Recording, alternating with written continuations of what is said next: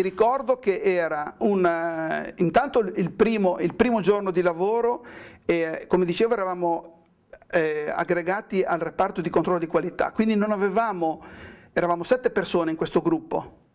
Questo gruppo si chiamava DSAT, del settore radiografico, che vuol dire divisione sperimentale assistenza tecnica. Evidentemente stavano creando un nuovo servizio tecnico per il settore radiografico.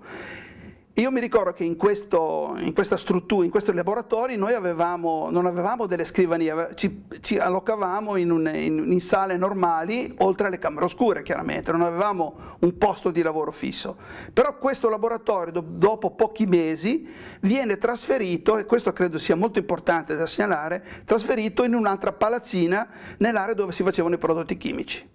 In questa nuova palazzina avevamo un vero e proprio laboratorio, perché al piano terra di questa palazzina avevamo al lato sinistro tutti gli uffici, al lato destro una sala riunioni, cioè il nostro servizio finalmente prendeva forma, ovviamente stiamo parlando di un periodo che io Stavo, in cui ero, ero, in laboratorio, non ero sul campo per avere dei giudizi anche da, da radiologo. Noi abbiamo imparato a valutare la qualità dell'immagine su un'immagine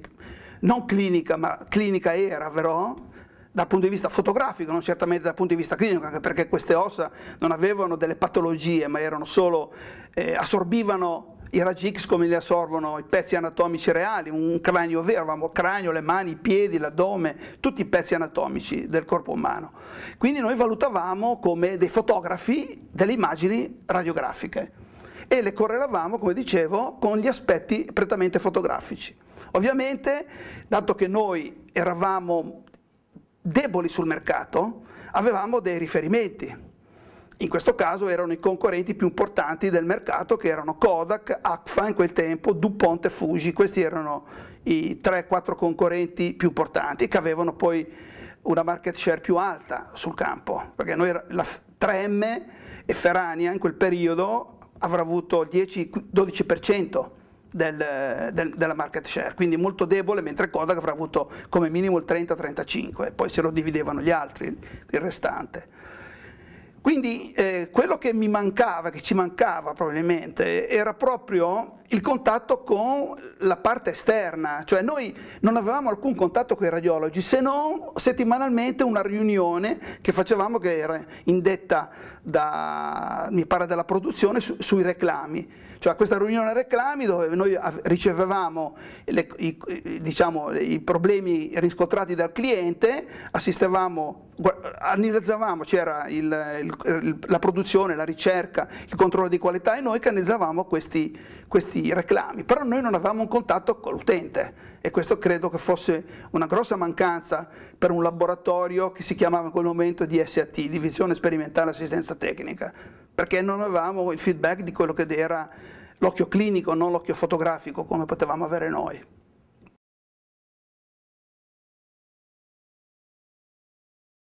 Questo lavoro a me eh, non piaceva perché io da tempo stavo dicendo ai miei superiori ma quando è che cominciamo a... Noi no, non potevamo starcene ad avere un contatto esterno indiretto solamente perché il venditore ci portava un reclamo o perché arrivava un reclamo settimanalmente e ne arrivavano molti in quel periodo, senza avere il feedback diretto dell'utente. Per cui io dopo un anno e mezzo, esattamente me lo ricordo perché era in luglio del 1968, io un giorno prendo e parto, vado a Roma vado a fare un colloquio per una ditta farmaceutica e questi mi assumono.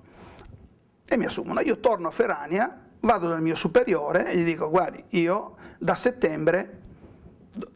sto a casa, vado in un'altra azienda, eh, oltretutto era per l'area di Savona, in una ditta farmaceutica molto importante, per cui io ero ben contento di cambiare lavoro. E lui mi disse, mi dia tempo due settimane perché stava maturando questa, questo servizio di persone all'interno del laboratorio, non solo io ma anche altri che avrebbero dovuto supportare i clienti sul campo. Dopo due settimane io ero in Veneto Veneto e Emilia Romagna, sono state le mie prime due settimane che ho fatto sul campo, quindi io avevo colleghi venditori che mi portavano negli ospedali, potevo vedere sul campo veramente come fosse organizzato un reparto di radiologia, perché noi non potevamo immaginare quello che realmente faceva un tecnico di radiologia, un radiologo o un fisico sanitario, perché poi si, si cominciavano, appari, apparivano anche i fisici sanitari a quei tempi. Per cui eh, è stato uno stravolgimento del mio lavoro, con enorme piacere da parte mia, perché io, potevo, io passavo il 50% del mio tempo sul campo. Stavo in giro una settimana, l'altra settimana stavo a Ferrania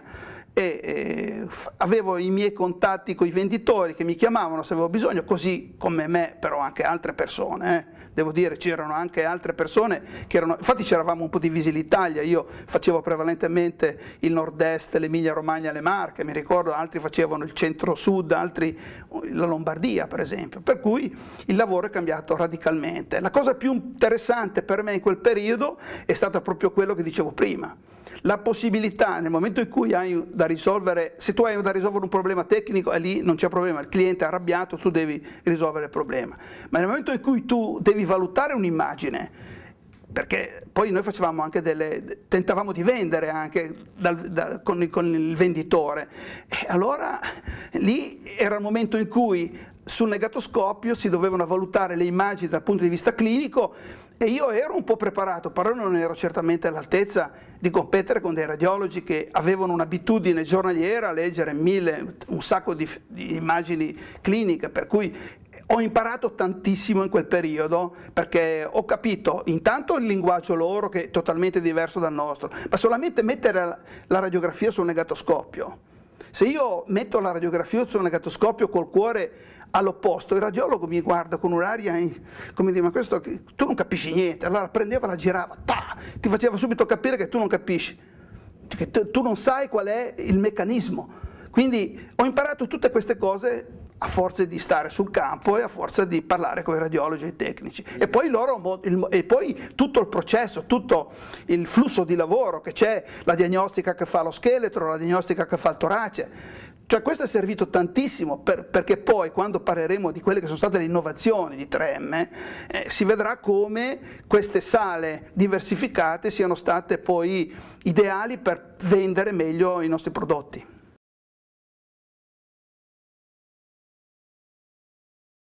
Quando, quando, eravamo all'interno del laboratorio ci rendevamo conto che avevamo una piccola fetta del mercato, ma perché avevamo prodotti deboli e pochi anche.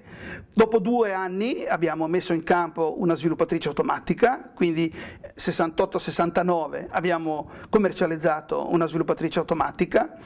e eh, direi che la cosa più importante che emerge poi dopo è quello che succede poi all'inizio degli anni 70 e qui c'è infatti una pietra miliare che bisogna sottolineare di quello stabilimento, perché è una scoperta fatta a Ferrania, da personale della ricerca di Ferrania, che ha dato una, una svolta al mercato radiologico di quegli anni. E sto parlando di un sistema Trimax,